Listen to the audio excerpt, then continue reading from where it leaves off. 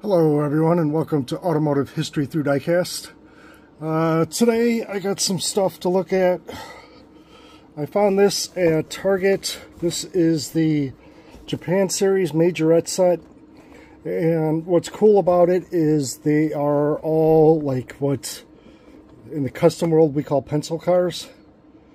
They all look like they were drawn on with pencil. So we'll open those up, take a look at each of these cars. Uh, I believe there's one or two cars in here that I didn't even know what they were. So it's always cool to learn about new cars. Um, next, we have uh, M2, these new M2s, uh, like dioramas. Me personally, I wish they were a couple bucks cheaper in just the car because I like to open everything. Um, but this I probably won't because it's like a display piece. So we got the 80s Camaro. We got the work in progress Mustang from Legendary Performance. And we got another Mustang, but I got this one because it was Carroll Shelby. Um, I thought that was pretty neat. Don't know exactly what I'm going to do with them, but uh, I grabbed them. Finally got my hands on this Team Transport. I've been looking for this one for a while. We're going to open that up. We got the new Impala Lowrider. We're going to open up.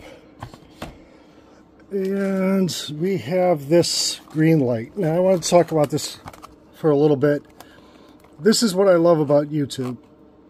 Um, this is not a, normally a car I would have grabbed uh, but a couple months back, I was on Hewitt, Hewitt Hot Wheels page, YouTube page, and he was going on and on how cool he thought this car was, and it was right up his alley and something he would drive, and just hearing the passion of him talking about it made me want to go out and get one, which to me is cooler than knowing everyone wants a super.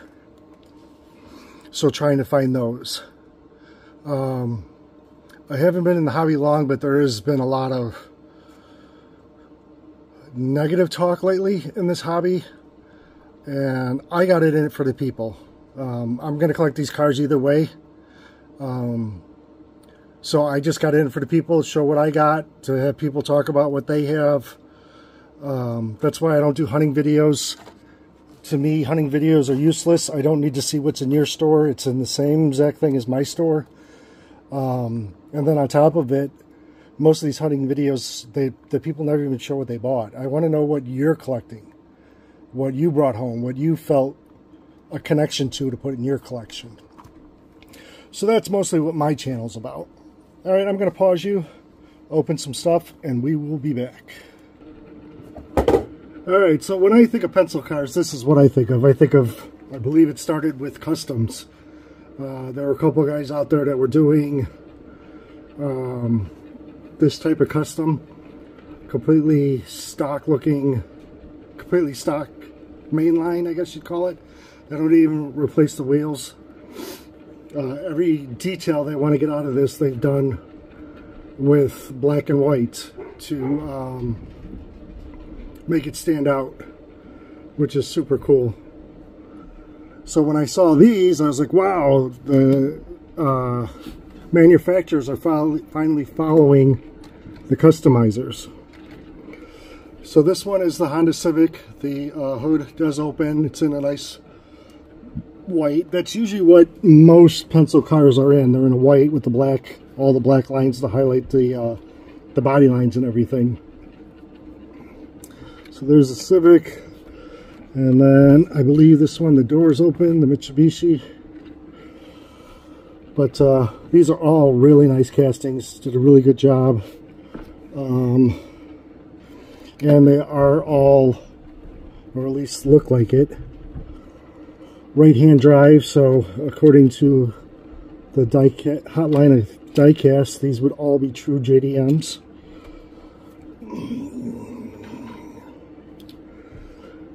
Here. This is the only one that had a rubber band on. I thought that was kind of strange. Let me get this rubber band off.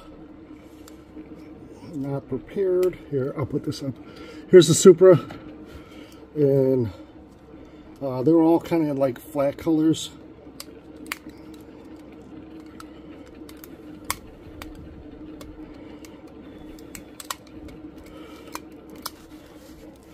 But that's like in a flat red.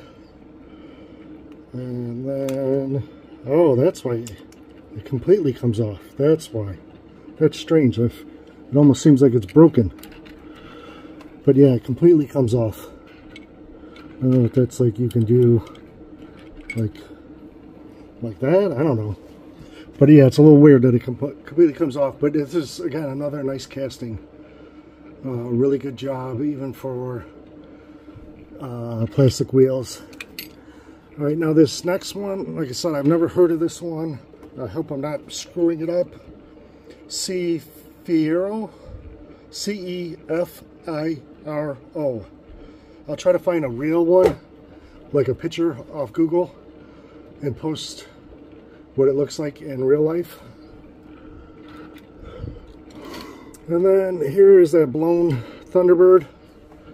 It is a very cool casting. It's different. Uh, I've talked about it over and over. I like to have stuff in my collection that's different, that you would normally not see. Uh, this is the only version of this car I have. And then I think this is the first Team Transport I've ever bought for the Transport. Um, this is a new casting. This is the Chevy Dually 3500. Um, but it's not a dually. Dually needs to have four tires in the back.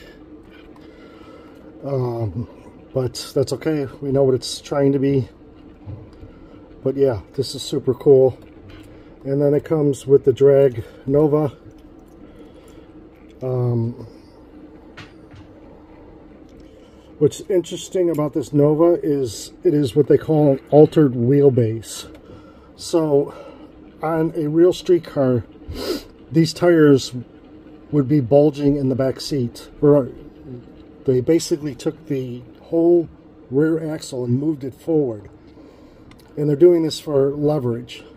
It's like changing the fulcrum, the leverage point, to get the car to lift more, to uh, you know get the weight in the back tires. So that's the one that comes with it. I grabbed this just because I like to show other ones. This is the only other one I have of the casting.